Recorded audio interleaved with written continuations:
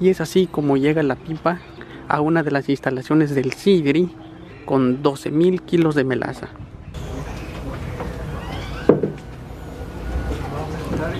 Una de las materias primas más importantes para la producción de bioinsumos en un laboratorio artesanal es la melaza. La melaza es muy importante para producir bioinsumos en laboratorios artesanales.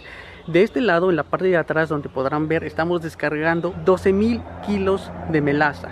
Esto bajo el proyecto CONACYT 322600 con los 12.000 kilos de melaza lo que vamos a hacer o lo que se va a realizar es distribuirlos en los 60 laboratorios artesanales que están en el norte de Veracruz para abastecer a cada laboratorio artesanal de este bioinsumo y que así puedan preparar su super magro, su magro, sus microorganismos de montaña y sus microorganismos eficientes. Entonces vamos a ver el proceso de descarga de la melaza que posteriormente se van a distribuir en todo el norte de Veracruz en los 60 laboratorios artesanales. Vamos a ver el proceso de la descarga.